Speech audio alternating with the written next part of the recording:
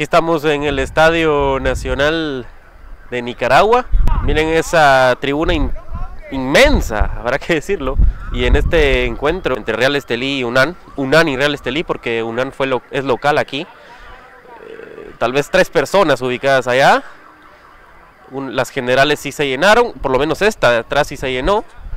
Y esta otra, esta otra estuvo medio vacía y se colocó la barra de el Real Estelí, los kamikazes, como se hacen llamar. Un estadio grande, me comentan que casi 15 mil personas los que le caben a este estadio. Aquí es donde se han dado las grandes citas del fútbol nicaragüense. La clasificación a Copa Oro el año, ¿qué? El año pasado, si no me falla la memoria, con esos tres goles de Juan Barrera iluminado. Y también aquí se dio ese partido histórico ante Jamaica que paralizó al, a la nación nicaragüense durante 90 minutos. Para que ustedes puedan ver aquí a mis espaldas, está todos los palcos VIP, los palcos privados para la gente de la federación.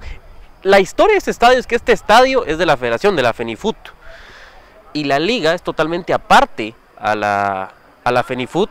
Por lo tanto, los equipos que quieren jugar aquí, que son varios, eh, se lo alquilan a la FENIFUT. Y lo que me comentan es que la FENIFUT no deja poner las vallas de los patrocinadores.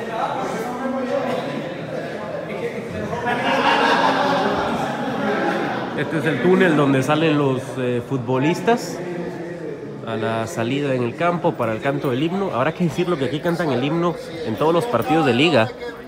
Ah, este es el, la vista que tienen los jugadores al salir del túnel. Este es el túnel, amplio, habrá que decirlo. Cantan el himno en todos los partidos, según me indicaba la gente de prensa de la Liga Primera, así se llama aquí la liga oficinas, reglamento interno, el camerino de los árbitros, espacioso aquí interno, incluso para, para poder calentar podría utilizarse este espacio. Uno por tres ganó la gente de Real Estelí, que es un equipo que ahí lo estamos viendo en su proceso ya de preparación para marcharse del Estadio Nacional. Yeah.